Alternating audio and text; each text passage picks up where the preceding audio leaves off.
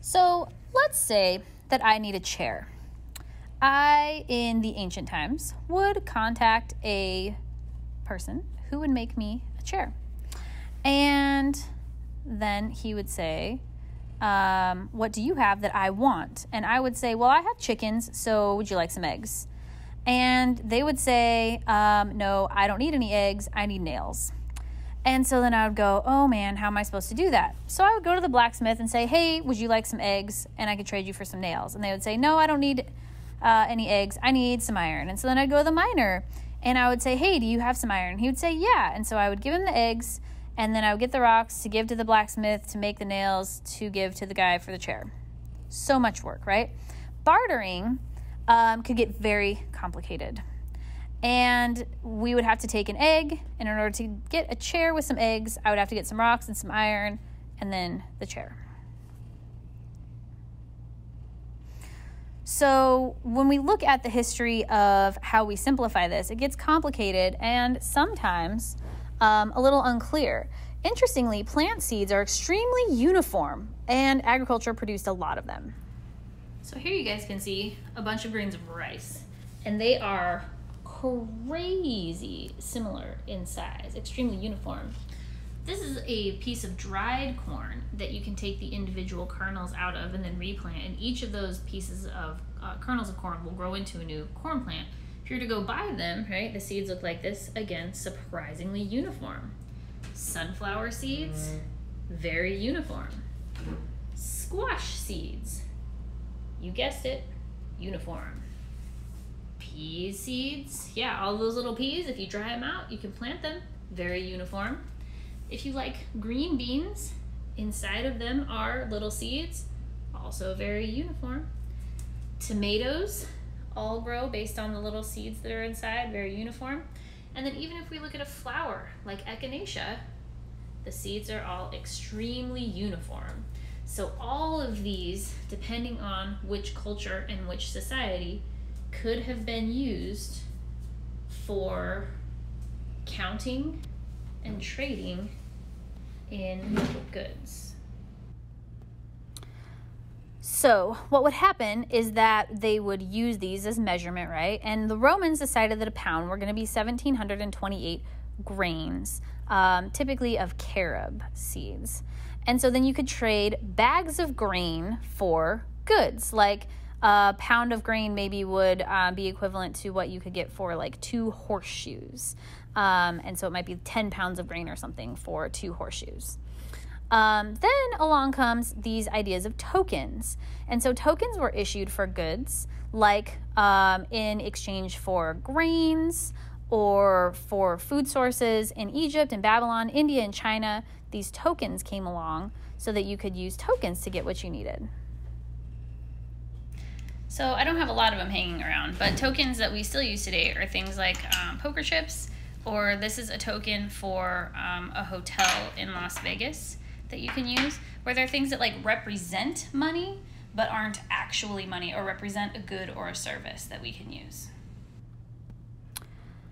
So, in other cultures, they had different types of things they would use for money. Um, cowrie shells were actually very popular for a long time. They're very hard and very uniform, and you could put them on a string that made them easy to carry that could be exchanged for um, sources of money. And they were actually still used into the 1900s in some parts of the world.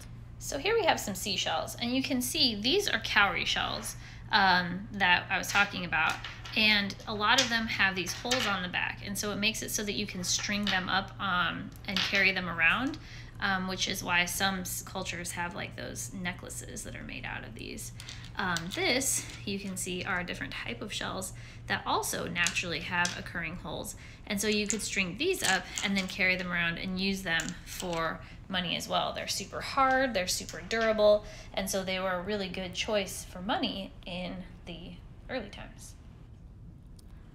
So, along comes the Chinese, the great innovators who decided to take their metal that they were able to cast and turn it into money to coins. They used scrap metals and put a hole in the center so they could carry it just like the shells. Here's a really cool random coin I just happen to have. It's from 1918 from France, and you can see it has a hole in the middle, much like the ancient Chinese um, coins would have, in order to be able to carry it more easily. Then in Turkey and Greece, uh, about 500 years later, they started making money out of precious metals like gold, silver, and bronze and stamped heads and faces and important things into it. So I'm certainly not a great coin collector, but we can see here that, like in the United States, we have dollar coins. We have 50 cents, 25 cents, 10 cents, 5 cents, 1 cent. Other countries in the world have similar, like uh, Canada. If you live close to Canada, you know that the pennies and the dimes and the quarters sometimes get kind of confusing, can bog up vending machines. Um, in Mexico, they have pennies. They have other things too. This is just kind of what I had laying around the house. They have 20 cent instead of 25 cent coins. And then they have something interesting we don't have, which is a $2 coin. And it's made with um, two different types of metals in it, which is pretty cool. Um, the Dominican Republic, though, they have a 25 peso coin. The euro is very interesting. Many countries in Europe, they have 1, 2, 5, 10, 20, 50. They do have a $1 coin, and I don't have one. I spent it when I was there. And then they have a 2 euro coin, much like Mexico. The Swiss also have 2, 1, 10, and then other smaller denominations. And this one I think is super interesting. This is from um, Iceland and it's actually kind of old. Um, it's from the 40s. And so it's a teeny, teeny, tiny little 25 cent. It's like the size, it's like smaller than our penny. Um, so every country kind of has their own way. See how little it is? Their own way of breaking up their denominations. But these metal coins are pretty popular worldwide. So now, if I wanted a chair and I went to a guy who made chairs and I got eggs, I'd be like, hey, you want some eggs? And he'd be like, nope, don't have any interest in your eggs. But I can find anybody else who wants eggs. And as long as they have some money, they can give me some money for the eggs. And then I can trade with them an amount that I think is fair for my time and energy. And then I can take that money that I make from selling my eggs and give it to the person who made my chair. And so everyone is able to make and get what they want when they need it.